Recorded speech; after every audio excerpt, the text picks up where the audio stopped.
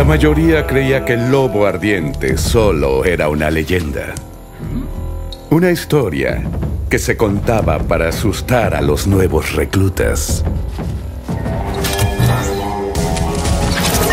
Pero te prometo que es tan real como la marea e igual de implacable. Dicen que es imparable, incontrolable.